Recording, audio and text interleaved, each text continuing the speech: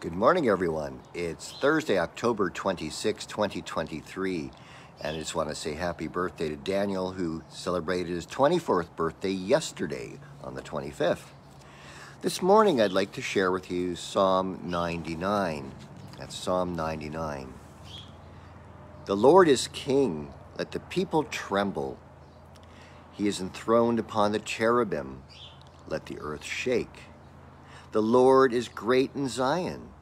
He is high above all peoples. Let them confess his name, which is great and awesome. He is the Holy One.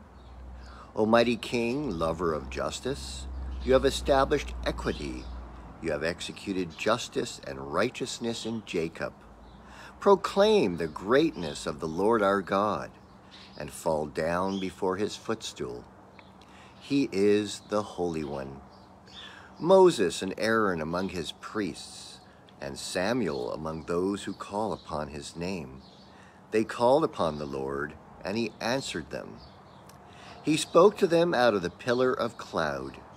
They kept his testimonies and the decree that he gave them.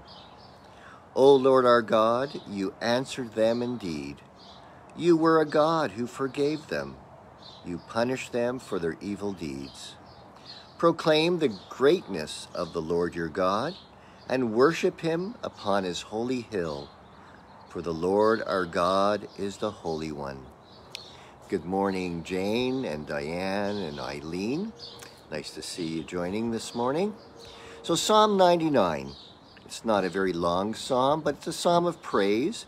Of course, it touches on uh, Moses and Aaron who called upon God's name.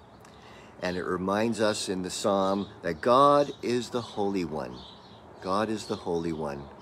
That the people tremble, you know, when they hear God's voice, when they feel God's presence, when they know that God is at work and moving in this world. Let us acknowledge that God is God is here and God is the one who creates and God is the one who uplifts and God is the one who loves and heals. So if you have a chance, Psalm 99. Let's finish with a prayer. Lord our God, ruler of the universe, you love what is right.